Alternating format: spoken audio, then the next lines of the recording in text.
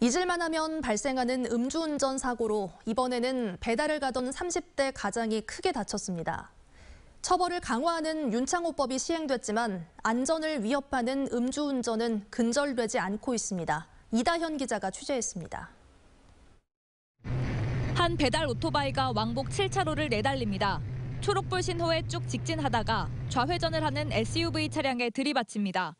사고 충격으로 오토바이는 산산조각 나버렸고 배달기사 32살 A씨는 목뼈가 부러지고 일부 장기가 파열되는 등 큰 부상을 입었습니다.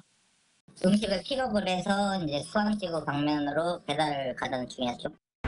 이곳은 신호를 받고 좌회전을 해야 하는 구간입니다. 가해 차량은 직진 신호에도 좌회전을 하다가 오토바이를 들이받았습니다.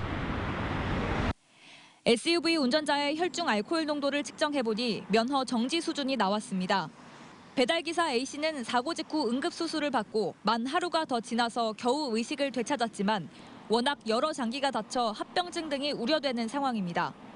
아내와 어린 두 자녀 등 가족들의 마음은 애같합니다. 1차적인 수술만 해놨을 뿐이지 지금 이렇게 해서 뭐 회복하는 게 아니라 어 저도 너무 두렵고 무섭고 전화 기다리는 상황이 블랙박스 영상을 확보해 사고 경위를 파악하고 있는 경찰은 SUV 운전자에 대해 윤창호법을 적용하겠다는 방침입니다. 또 차 안에 있던 동승자 두명에 대해서도 방조 혐의가 있는지 살펴볼 계획입니다. MBC 뉴스 이다현입니다.